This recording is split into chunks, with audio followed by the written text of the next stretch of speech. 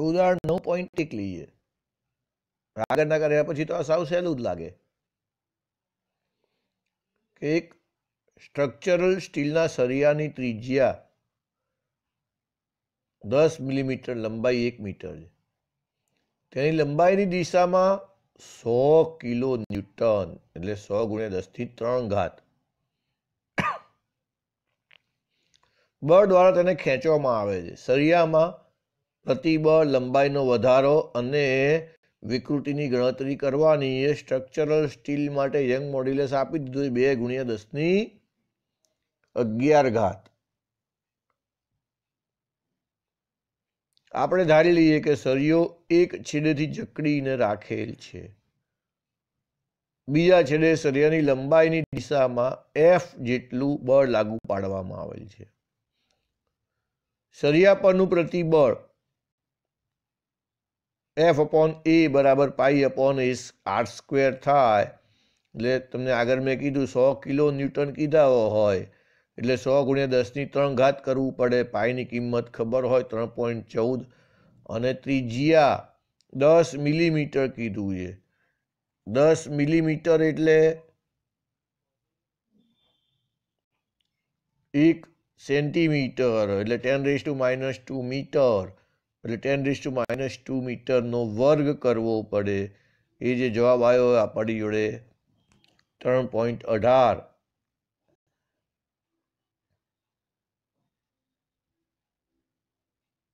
ગુણ્યા દસની આઠ ન્યૂટન પર મીટર સ્ક્વેર થાય.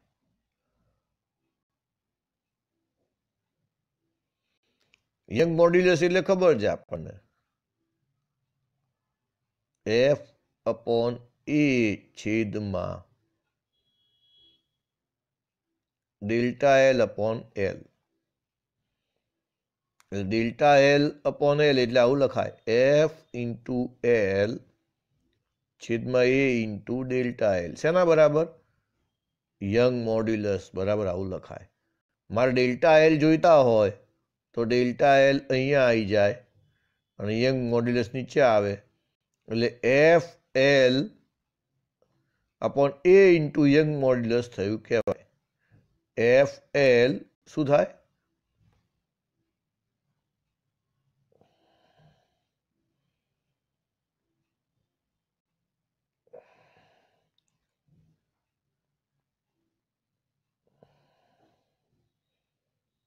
એફ એલ છેદમાં એ ઇન્ટુ યંગ મોડ્યુલસ થયું કહેવાય આ સૂત્ર મૂકવાનું મારે.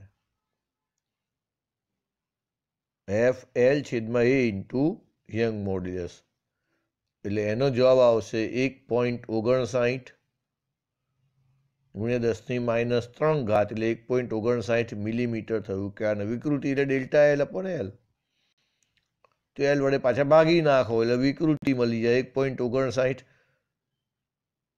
ગુણ્યા દસથી માઇનસ ત્રણ ભાગ્યા એક કરો એટલે એનો એ જવાબ આવે.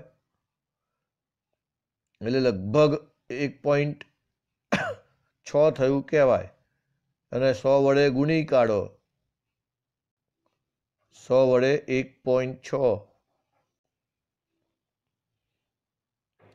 છેદમાં એક હજાર આપેલા છે. અને ગુણ્યા સો કરી નાખો એટલે બે મીંડા જતા રહે. એટલે સોળ ટકા જીરો પોઈન્ટ સોળ ટકા થઈ ગયું કહેવાય. જીરો પોઈન્ટ સોળ ટકા થઈ ગયું કહેવાય.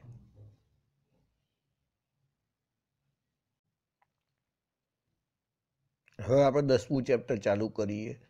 તરલના યાંત્રિક ગુણધર્મો. તરલના યાંત્રિક ગુણધર્મો. શરૂઆતમાં ખાસ તો આપણે કેટલા ગુણધર્મો લેવાના છે. પ્રવાહી અને વાયુ એટલે તરલ. પ્રવાહી અને વાયુ એટલે તરલ.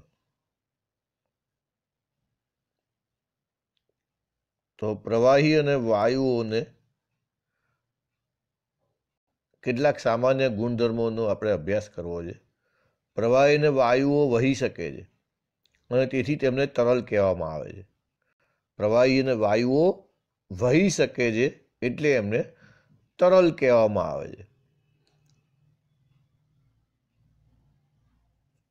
મૂળભૂત રીતે પ્રવાહીઓ વાયુઓનો આ ગુણધર્મ તેમને ઘન પદાર્થથી જુદા પાડે છે. કયો ગુણધર્મ?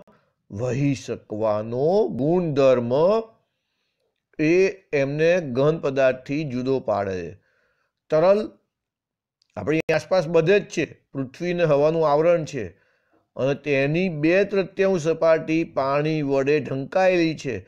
પાણી માત્ર આપણા જ માટે, અસ્તિત્વ માટે જરૂરી નથી, પરંતુ દરેક સસ્તન પ્રાણીઓના બંધારણમાં મહદઅંશે પાણી છે. વનસ્પતિ સહિત બધા સજીવોમાં થતી પ્રક્રિયાઓ તરલના માધ્યમથી થાય છે. આમ તરલના ગુણધર્મો અને વર્તણૂક સમજવાનું અગત્યનું છે. તરલ ઘન પદાર્થથી કેવી રીતે જુદા પડે છે? પ્રવાહીઓ અને વાયુઓમાં કંઈક નિશ્ચિત આકાર નથી હોતો.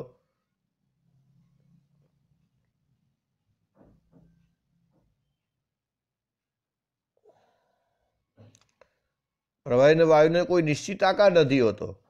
કદ હોય છે. પ્રવાહીને ઘન અને પ્રવાહી પદાર્થને નિશ્ચિત કદ હોય છે. જ્યારે વાયુ તો જે પાત્રમાં ભરો એટલે પાત્રના સમગ્ર કદને ભરી જ દે. ફેલાઈ જાય, આખા પાત્રમાં એ ફેલાઈ જાય. ઘન પદાર્થનું કદ પ્રતિબળ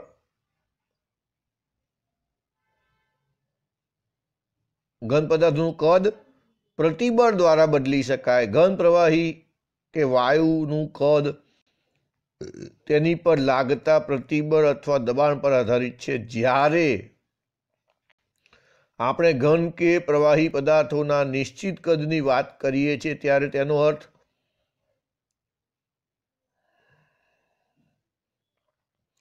તે કદ વાતાવરણના દબાણે છે તેમ સમજવું.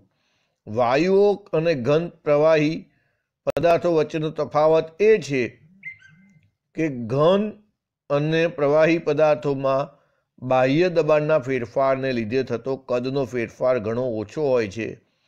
આપણે બીજી રીતે કહેવાય કે ઘન પ્રવાહી પદાર્થોની દબનીયતા વાયુની સરખામણીમાં ઘણી ઓછી નહીવત કહેવાય. આકાર પ્રતિબળ ઘન પદાર્થનું કદ અચળ રાખીને તેનો આકાર બદલી શકે છે. તરલનો ચાવીરૂપ ગુણધર્મ એ છે કે તેઓ આકાર પ્રતિબળને ઘણો ઓછો અવરોધ દાખવે છે. તેનો આકાર ખૂબ જ નાના આકાર પ્રતિબળ વડે પણ બદલાય છે. તરલનું આકાર પ્રતિબળ ઘન પદાર્થોના મૂલ્ય કરતાં લગભગ દસ લાખ ગણું નાનું હોય છે.